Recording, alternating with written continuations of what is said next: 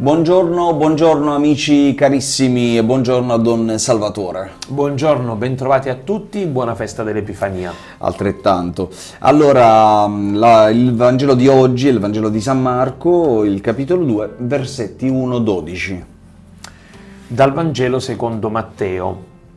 Nato Gesù a Betlemme di Giudea, al tempo del re Erode, ecco alcuni magi vennero da Oriente a Gerusalemme e dicevano Dov'è colui che è nato, il re dei giudei? Abbiamo visto spuntare la sua stella e siamo venuti ad adorarlo. All'udire questo, il re Erode restò turbato e con lui tutta Gerusalemme. Riuniti tutti i capi dei sacerdoti e gli scribi del popolo, si informava da loro sul luogo in cui doveva nascere il Cristo. Gli risposero, a Betlemme di Giudea, perché così è scritto per mezzo del profeta. E tu, Betlemme, terra di Giuda, non sei davvero l'ultima delle città principali di Giuda. Da te infatti uscirà un capo che sarà il pastore del mio popolo Israele. Allora Erode, chiamati segretamente i magi, si fece dire da loro con esattezza il tempo in cui era apparsa la stella e li inviò a Betlemme dicendo andate e informatevi accuratamente sul bambino e quando l'avrete trovato fatemelo sapere perché anch'io venga ad adorarlo. Udito il re, essi partirono. Ed ecco, la stella che avevano visto spuntare li precedeva, finché giunse e si fermò sopra il luogo dove si trovava il bambino. Al vedere la stella provarono una gioia grandissima. Entrati nella casa, videro il bambino con Maria sua madre. Si prostrarono e lo adorarono. Poi aprirono i loro scrigni e gli offrirono in dono oro, incenso e mirra.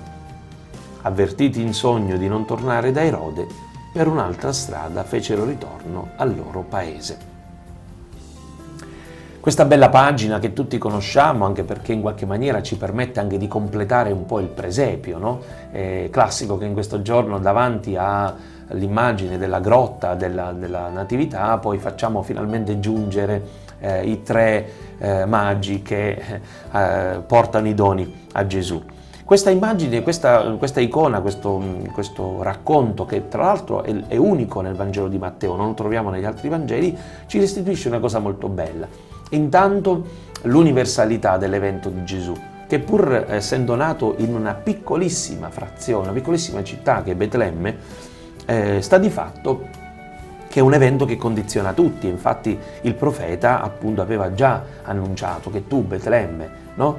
eh, non sei la, la, città principale di Giuda mh, ultima, non puoi considerarti ultima perché? Perché da te nascerà un capo. E eh, il fatto che questi magi, questi uomini probabilmente sapienti, che conoscevano un po' anche l'astrologia, ecco perché, l'astronomia, ecco perché avevano, sapevano di questa stella, avevano fatto dei calcoli precisi e conoscevano anche le storie, probabilmente conoscevano anche un po' le scritture, visto che loro stessi interrogano gli abitanti di Gerusalemme, Erode e gli altri, per capire dove, perché loro potevano sapere quando, ma non sapevano dove. Ecco che bello anche queste culture che si confrontano e si consegnano l'un l'altro una parte di sapere che in qualche maniera aiuta a giungere a una verità più completa, tutta intera. Però ovviamente la sapienza ha bisogno di un cuore libero, un cuore vero. Infatti i magi arrivano a Gerusalemme e dicono pubblicamente questa loro ricerca. È Erode che chiama segretamente i magi. Ecco, chi ha il cuore invece incattivito usa le conoscenze per dei propri interessi personali e perché teme la bellezza, no? teme la novità, perché ha paura di perdere il proprio potere. E infatti confabula con i magi perché eh, loro possano rivelargli il luogo dove trovano il bambino. Ma poi, avvertiti in sogno, tornano a casa per un'altra strada. Allora, ecco, ci auguriamo davvero che questa festa, che è una festa dell'universalità, della salvezza, della manifestazione di Dio, ci insegni a dialogare con tutti e ci faccia rendere conto che ogni popolo, ogni tradizione porta con sé una parte di verità, una parte di verità che se unita alle altre compongono un puzzle più bello, più completo proprio.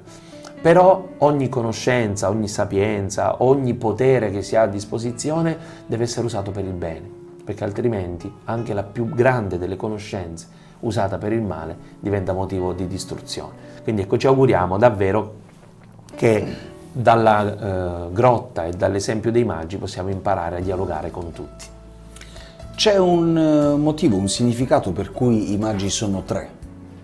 In verità non sappiamo che sono tre, nel, nel Vangelo non, non, ci dice quanti sono i, i, i magi, però mh, abbiamo, fatti, abbiamo, abbiamo, immaginato che fossero in tre per i tre tipi di doni che vengono offerti, oro, incenso e mirra, immaginando che ognuno di loro ne portasse uno, abbiamo immaginato che ne fossero tre. Però ecco, non sappiamo in verità il numero dei magi, ma sicuramente simbolicamente vuole rappresentare la tipologia diversa dei doni. E voglio dire da subito anche i padri della Chiesa commentando questo episodio eh, ci vedono nell'oro la, il riconoscimento della, della, diciamo, del re, no? della, quindi della regalità, nell'incenso la, il riconoscimento della divinità e nella mirra il riconoscimento dell'umanità, di un'umanità destinata tra l'altro alla morte, ma una morte gloriosa, cioè una morte destinata alla risurrezione la mirra e l'unguento appunto che si utilizzava per imbalsamare i cadaveri.